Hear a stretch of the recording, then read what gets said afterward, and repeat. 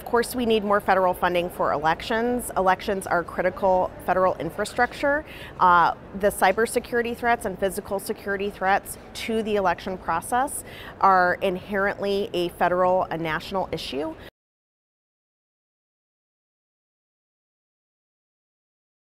And yet our partners in the federal government have done so little to provide us with the funding that would give us assurances that things are going to be, that they're going to play their role as partners in democracy.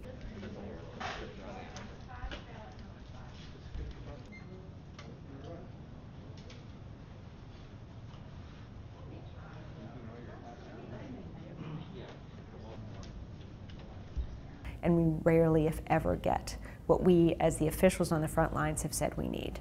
We have been fortunate in 2020 to get CARES Act funding. Uh, that helped us significantly. I don't know how we would have gotten through 2020 safely and securely without it.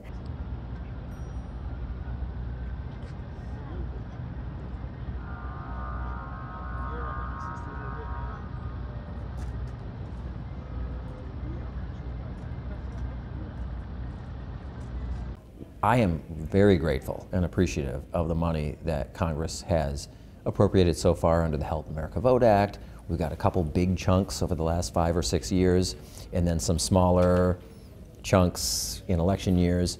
Um, the problem is the, the reliability of that money.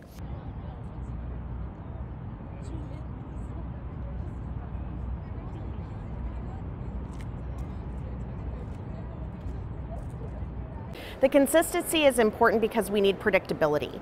Um, when we create programs, we want to be able to sustain those programs not just for a year or for two years. We want to sustain them for the long term.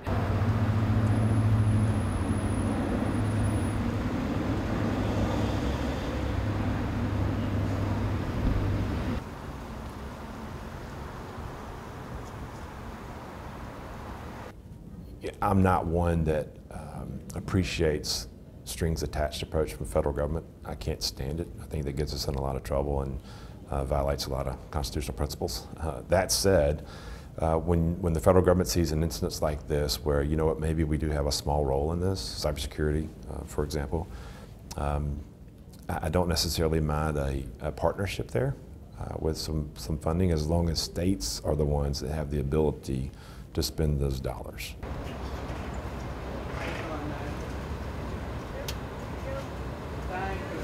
So we're not asking for a federal financial takeover of state elections. I would never do that. No secretary would. But this money has been very helpful, especially in this threat environment of the last few years, whether it's cybersecurity, physical security, or other forms of election protection. It's been very, very helpful.